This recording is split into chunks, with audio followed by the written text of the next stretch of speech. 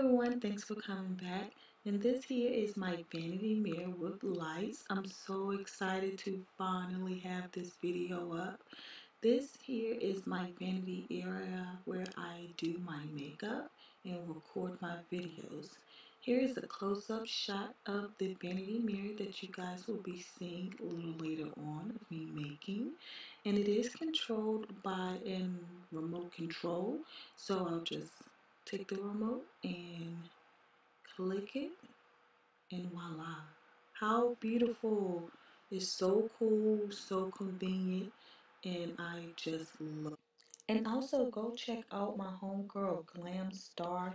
Yes. She also has a DIY video of how she did her vanity mirror with lights hers is like a different alternative that you can take with less steps and without the extra space at the bottom so please go check out her video. It is lovely and very detailed. And also this is my ottoman that I made. I will leave a link down below of how I made this ottoman. It was really cheap and cost me little of nothing.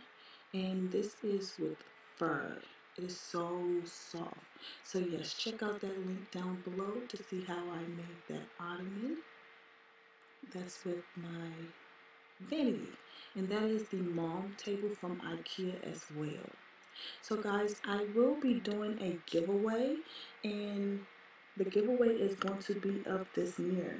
So I will leave a link down below of my giveaway and all of the requirements and the dates and everything that need to be done to enter and have a chance to win this beautiful handmade vanity mirror with lights controlled by a remote control.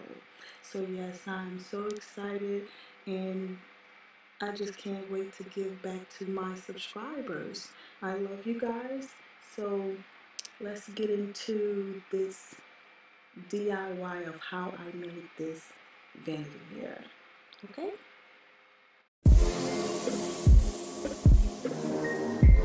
Okay, you're going to need your wood, your vanity bars, paint, paint brushes, spray paint, your mirror, screwdriver, screws, safety glasses, wood filler, drill bit, electrical tape, tape measure, your dimmer, your plug-in, and you're also going to need scissors and your lights. That's everything you will need. And also use the different dimmer as well. Okay, these are the bar lights that I'm using. It's the six bar lights. I got it from Lowe's. So here I'm just taking it out of the packaging and it comes with caps and screws. You're going to keep those caps because we're going to need those. And here I'm just taking out of the plastic and pulling the caps off. They just pull right off and that's what secure the light into place really. So I'm just taking a screw to detach it and you're not going to need that side so you just disregard it. And doing the same thing to the other side, taking it off. Okay, here I'm just measuring out my wood where the holes need to be laid.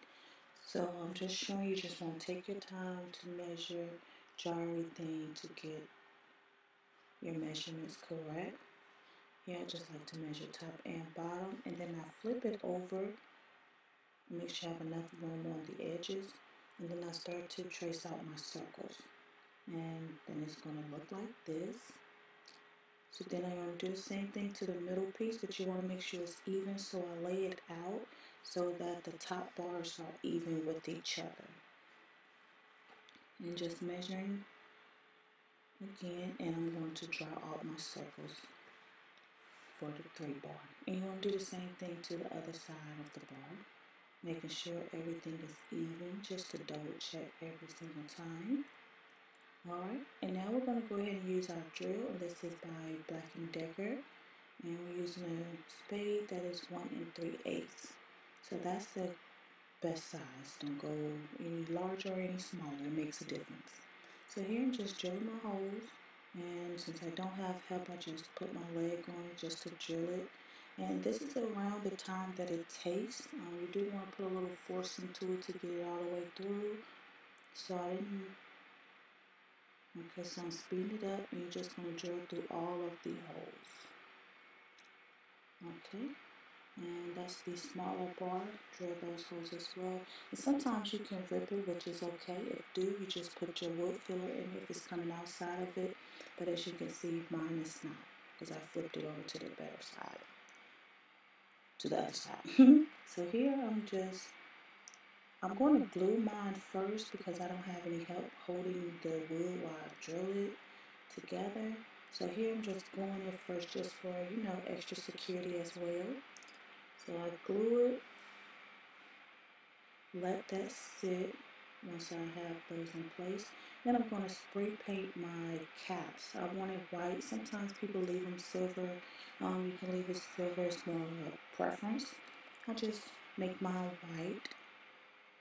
So I just spray paint them all around. And now I'm got and ready to drill the screws into where I start to glue the frame just to get it together. So I'm going to drill and I put about four screws in it, one at each end and then two in the middle. That's what you see me doing here. And then I'm going to put my middle piece once I have both sides done. And I'm going to glue that at the top and then we're going to put a top piece, screw that together which is going to secure it more so that middle piece isn't going to budge. So here I'm just creating my box and making my frame. Okay, and to get the middle cubby piece, we're going to just glue it and then secure it underneath so it won't slide through. And then with the Gorilla Glue, it won't budge. So that's how I get the cubby piece. And here you see me, this is primer. So I'm actually priming my wood first using the roller. Um, here just going all around, make sure you get every single side. You don't have to do the inside though, but you do want to do the inside at the bottom. And this is wood filler, so any kind of cracks you just want to fill it in so to make your frame just seamless. So you just want to make sure you can't see any cracks or anything. And I also do it where I screwed the nails on the side just to make my side seamless as well. Okay, now you see me painting the frame. Since I already primed it, I'm now going over with two layers of paint. And this is the gloss paint so they can have like a nice shine. I'm going to do the top. And then here I'm placing my mirror, just making sure I have it even on both sides. Okay, and then I go under with some hot glue and then I tape it as well and I also use some Gorilla Tape but you can't see it just for extra security. And now I'm putting in the bar lights. Okay now using the extension cord we're going to cut off the top part and split it so that's how you're going to pull it apart to expose the wire and I pull enough about for pinky length and then you want to just go around it but not too much just to go through the rubber and not the wire so you have to do that and then you will be able to like pull it off. See, it just come right off to expose the wire. And you want about that much exposed. So you want to do that to both sides and make three of them. So two on two each ends and one with the plug. So you should have three pieces for your wiring. So here we're going to start with the wiring and you have to match the white with the groove side. You will see what groove side I'm talking about once you actually look at the extension cord if you don't know. So then you want to just wrap your wire around it nice and firm. And then you want to take the black and put it with the smooth side. And I just kind of twist it a little bit together and then I wrap the extra wire from the extension cord around the smaller one, which comes from the bar light. And then you want to take a cap and put your cap on it just to secure and close off the wire so you don't have any exposed wire and put your cap on both of them Okay, now going to the second bar, you're going to do the same thing. You're going to take the white from the second bar and take the groove side from the first bar that we just connected and take the groove side from the other side that you're going to connect to the third one and tie them all together and place a cap on it. You're going to do the same thing for the black. Take the black from the second bar and then take the two wiring, which are smooth sides, and put them two together. So you see we have three pieces and we're just gonna one two, three from your bar your two extension cords. And you're just going to twist them two together and then add your cap on. And going over to the third bar, you're going to do the same thing. From your white, you're going to take your groove side and your groove side from the extension cord that goes in the wall and do the same thing with the black. So you have your first bar that's going to connect to the second bar, your second bar is going to connect to the first bar and the third bar, and your third bar is going to connect to the second and the plug-in. So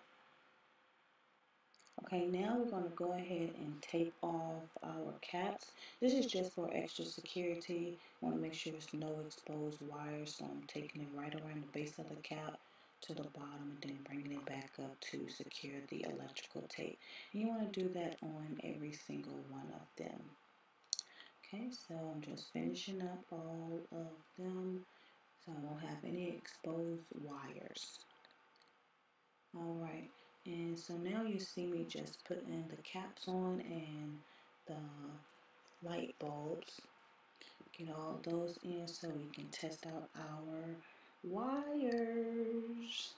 And how I'm controlling my remote is with a wireless handheld transmitter, which is basically what people use for Christmas lights and stuff like that. So I'm just plugging my extension cord into it and plugging the wall in. Before you get started, you want to pull that tab off because if not, your remote will not work. So pull that off and let's go ahead and see. Voila! Yes! So thank you guys for watching. This is my vanity mirror with lights that I made all by myself, constructed all by myself. So yes, guys, definitely try this mirror and let me know how it works out for you. Send me some pictures. Thank you guys for watching. Bye. Hope you enjoyed. Hmm?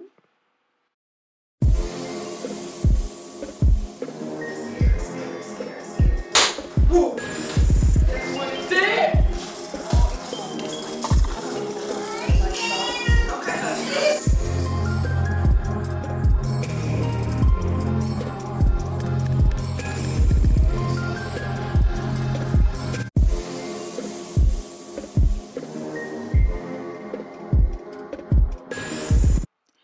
everyone, thanks for coming back. And this here is my vanity mirror with lights. I'm so excited to finally have this video up. This here is my vanity area where I do my makeup and record my videos. Here is a close-up shot of the vanity mirror that you guys will be seeing a little later on of me making. And it is controlled by a remote control. So I'll just take the remote and click it and voila. How beautiful. It's so cool so convenient and i just love and also go check out my homegirl glam star. Yes. She also has a diy video of how she did her vanity mirror with lights hers is like a different alternative that you can take with less steps and without the extra space at the bottom. So please go check out her video. It is lovely and very detailed. And also this is my ottoman that i made